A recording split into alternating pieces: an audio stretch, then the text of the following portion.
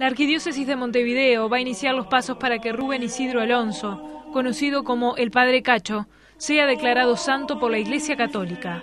La decisión, según informó el observador, fue tomada por 25 sacerdotes. Se va a presentar la petición ante el Vaticano. Cuando alguien es declarado santo por la Iglesia Católica es porque ha practicado heroicamente las virtudes y se lo propone como modelo e intercesor ante Dios. Ahora Sturla deberá presentar ante el Papa un informe sobre la vida y las virtudes del sacerdote que vivió durante años en un rancho de lata en un asentamiento. La obra del padre Cacho en el Marconi comenzó en el año 77, cuando Alonso decidió trabajar para mejorar las condiciones de vida de su entorno. En la actualidad se atienden a casi mil niños en sus diferentes etapas.